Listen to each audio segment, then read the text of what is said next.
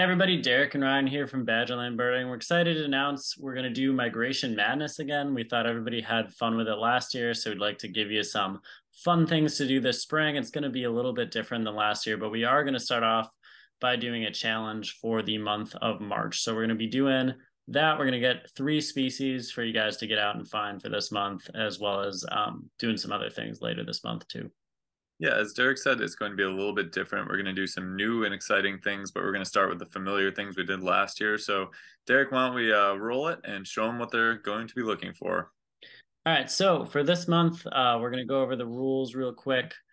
Uh, just like we did last year, you're going to have from the release of this video, which is March 2nd at 9 a.m. Central Standard Time, until the end of March at midnight to find all three species. You can hear or see them. And of course, we're going to use the honor system, whether you saw them or not. You can travel wherever you want to see them, but please be safe. You do travel, they need to be seen in person. So no caged birds, no species seen on TV or in zoos, um, stuff like that. So comment on this video with the species you saw, the date, and the location before March 31st to be entered into a drawing. We'll probably do the drawing at the end but please do it all in one comment. You can leave as many comments as you want on the video, but when you do your submission, please leave it in one comment because when we go through and look at those comments, it's tough if like you're like, I saw this species, this date, and then another comment way down has another species. So make sure you have that all in one comment somewhere. You can leave other ones, but make sure if you get all three to leave that all at the end.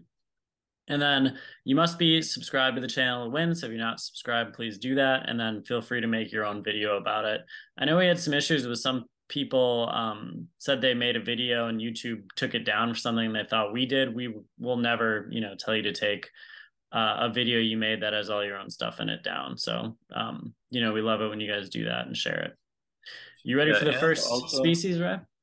Uh, well, I was going to say before that, also get your friends involved in it too. We want as many people to be participating as possible. So spread this around so that everyone in your communities can have some fun looking for these species.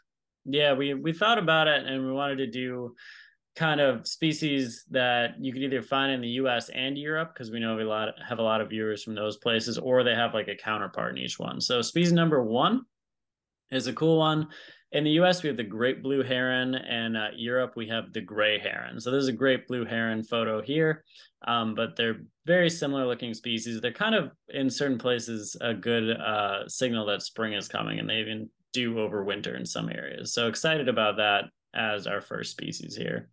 Mm-hmm. Also, just a very majestic bird. Species number two, we have the gadwall which is one that you can find in the Americas and in Europe. So that's cool. We always try to include, you know, a species of waterfowl or species from different habitats too. And uh, just a, a, cute little duck we have in the Gadwall. And then for number three, we have the American kestrel, or if you're in Europe, the Eurasian kestrel. Uh, these guys are very fierce little falcons. Um, they're always a fun species to see. And uh, with these three, you know, you have to you could find them all in one habitat, but you'll probably have to venture a little out to get all three of them. Mm-hmm. Yeah, all these species are actually somewhat migratory, at least too. So a lot of them, for where we're located, show up in March, and maybe in the places you're located, it's a similar story, or maybe you have them year round. Definitely. So to recap the rules, you have from the release of this video till the end of the month to find all three species. And then you got to leave one comment saying uh, the species you saw, the date, and the location before March 31st at midnight. And then you'll be entered into that drawing. So, really excited for this. And uh, here's a recap of our species the great blue heron or the gray heron, the gadwall, and then the American or Eurasian kestrel. And then if you're not in either of these places, like I know we had some people from South Africa, you can leave a comment and we'll pick some species for you to find not every species we pick is necessarily going to be migratory, but we just want want something fun for you guys to get out and do. And you can always email us at badgerlandbirding at gmail.com.